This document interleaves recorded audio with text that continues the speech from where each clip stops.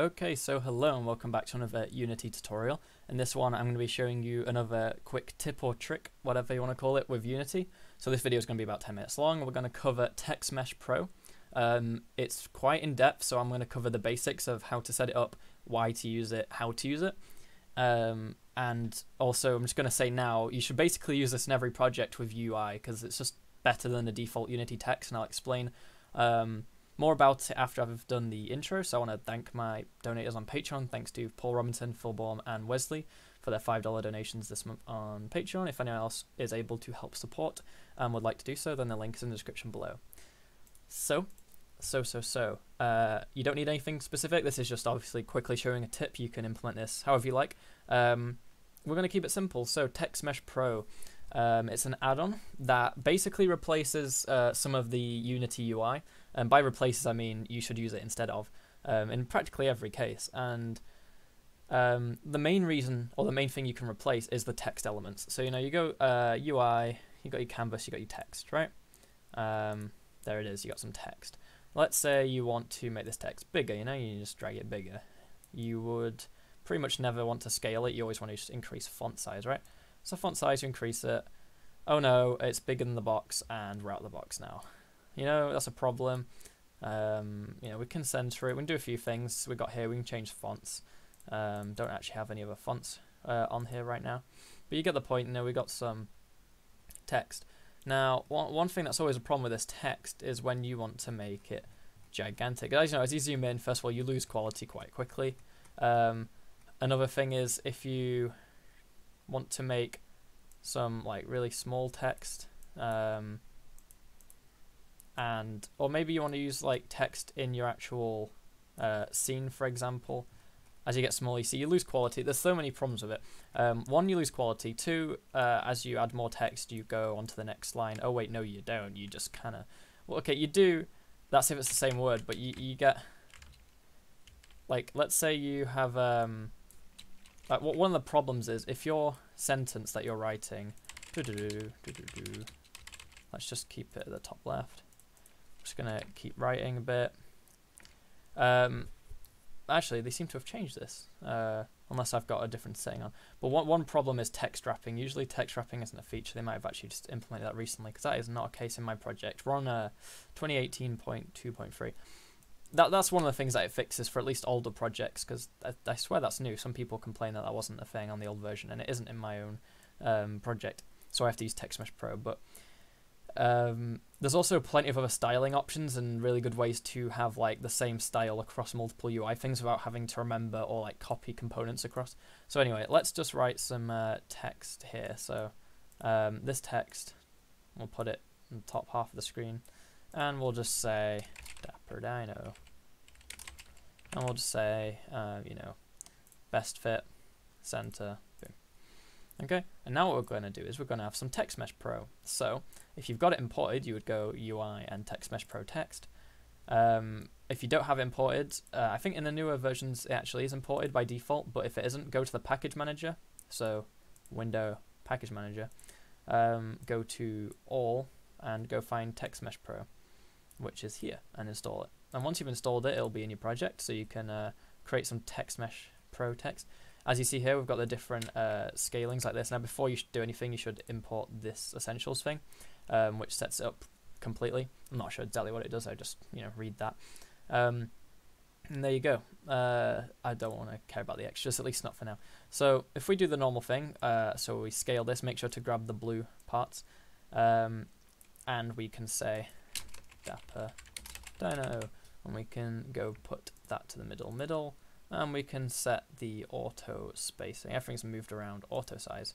And then set the min and the max. So the max to, well, max to 300, max to 300. Okay, so we got the same thing, just different color. So now we're going to go into the benefits of this and why you would use it. So first of all, I mentioned about the um, going on to the next line with new words, but apparently that's actually um, fixed now anyway. So that's that's one thing that I would have said, but uh, now it doesn't appear to be the same thing. Another is uh, scaling where the UI is. Uh, it's kind of like a child if you look at this. Um, and as you see, you can't sync this up to the parent part, but you can, um, if you look on the UI, this actually tweaks the font size as well. Um, if I actually just go back, let's put that back to how it was. Just scale that like that. So what we want to do, there's plenty of settings over here. Let's say, first of all, you want to use your own font, okay? So you go to your fonts and, oh, there are no fonts. You know, you've got your this thing, which is already default. Now, how the fonts work in this, they actually work as textures, like on a material. So, let's say we had a font. So if I just like went on the internet and just grabbed a, um, one sec, fonts. There's like font websites. So we go to, I think Dafont is a pretty good, pretty good website. So I'll pick a random one like this one. So I'm going to go download and uh, drag that into our Unity project and unzip it. Uh, if you press show in Explorer, it's easier because you can actually do all the stuff with it. So we're going to extract uh, and we're going to uh, just run this, install. And actually, I think I've just installed that onto my operating system. If you just put the uh, actual text, um, if we now give that a second, delete that, we can use this text here uh, as a font, okay? But the problem is, as you go back to the Text Mesh Pro thing, you can't actually set the font here because, as you see, it's a scriptable object. It's a type that they've made which we have to implement. Now, there are lots and lots of settings you can do with that, but the easiest thing to do is to go to Window, uh, Text Mesh Pro, Font Asset Creator. And what you do is you select a font, so we've got our new one, and leave that as far as I'm aware, unless you've got specific settings. And if you just click Generate Font Atlas and you just wait a second, um, it will basically turn your font into an actual texture, which it can then use. So if you click, um, well, I didn't mean to click that one again. But anyway, um, once you have generated it, you can then so obviously you would re-click you click generate if you've changed these settings. You can then press like save, and you save it somewhere. So just whatever, leave it as default name. And now if you go back here, you'll see inside this folder we have a scriptable object which is literally the font. So if we go back to Text Mesh Pro and select our new font, we're using that font. Um, I think that was what the font looks like. I've not like messed it up, have I? Um, I don't know how I'd view it now. Uh oh. no, it's opening a read this in Visual Studio. I'm going to need Visual Studio open anyway to show you something. Um, so, what I'll do is not look at that. and we don't need the screen loader, scene loader. Um, so now that we've got this text selected, and obviously we can change between the texts now. Um, you've got all the other things, you know, bold, italics, underline. You've got more. You've got underline, strike, the thing that puts the line through the middle. Um, AB, so it's uh, lowercase and then cap all caps. So you don't actually have to change your text. You can have it be in all caps. Um, I don't actually know what that's doing.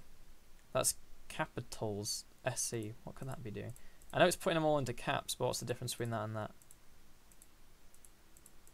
It's basically just shrinking it. I don't know. Maybe it keeps it the same scale, but anyway.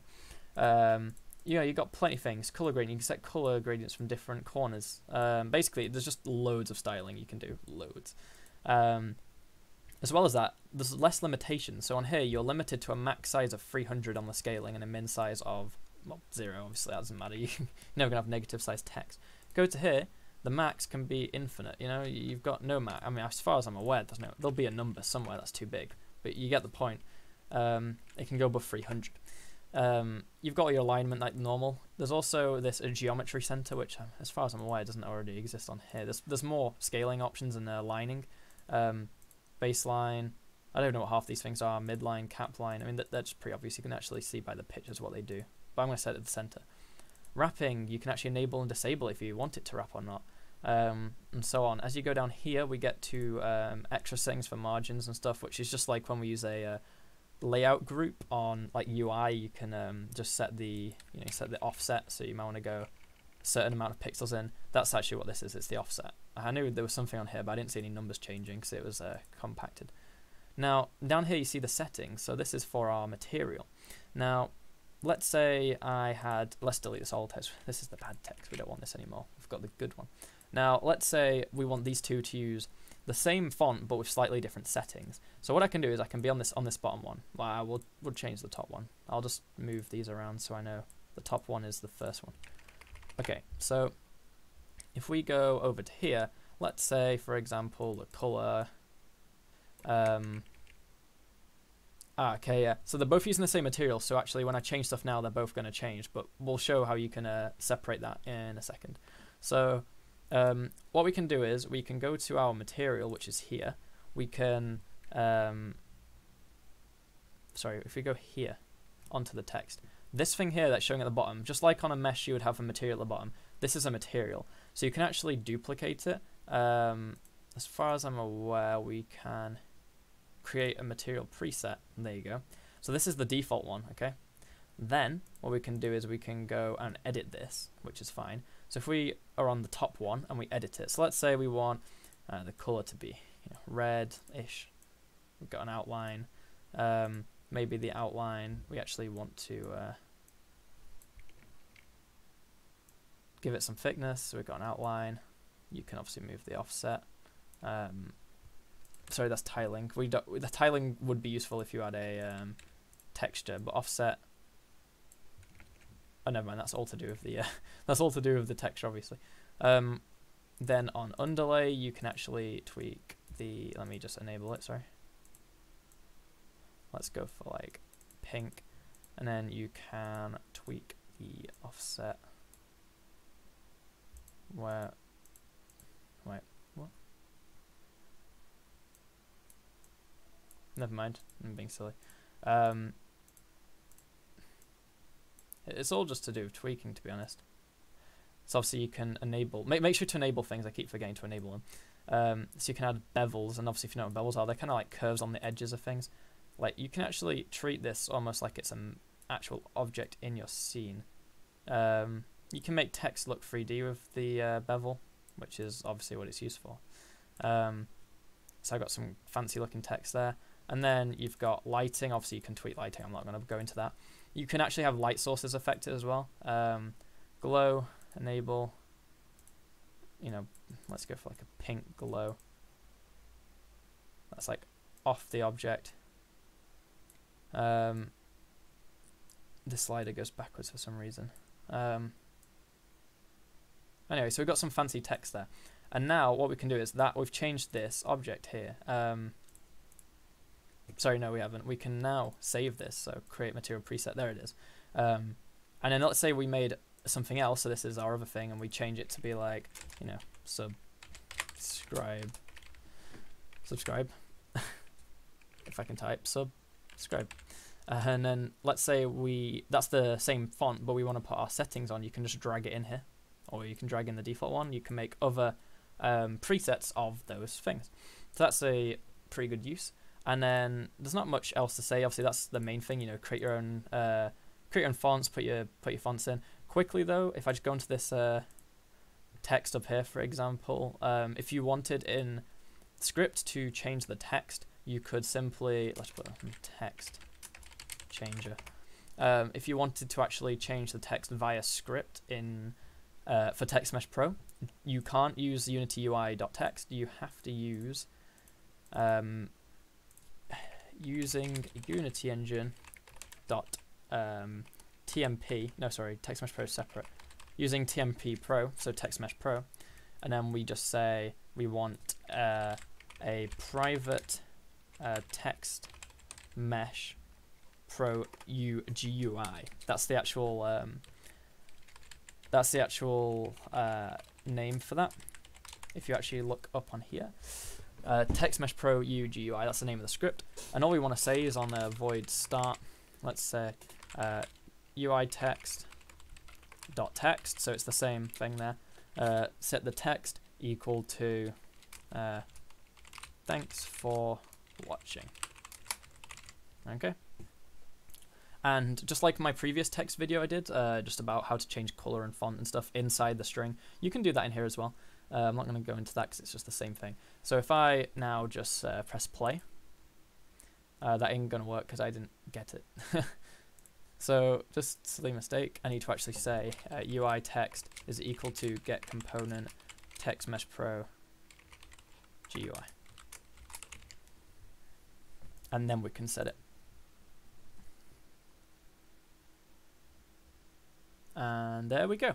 So that's a good outro, isn't it? So yeah, if you did like this, obviously go away and use TextMesh Pro, fiddle with the settings more. I don't know what every single little tweaker does. You know, there's so much with it. That's the that's one of the good things. Uh, so long as you don't get overwhelmed by them, um, it's better because also when you uh, you don't lose quality with the text like you would in the other one. Um, there's more settings, there's more flexibility, there's less limits. You know, the more you can do with it and it's just better in general. So I hope this video convinced you that it is. I hope you go away and use it. Um, if you haven't already liked and subscribed, it obviously mean a lot. Uh, join the Discord server if you want to speak in there and take part. Apart from that, thanks for watching and goodbye.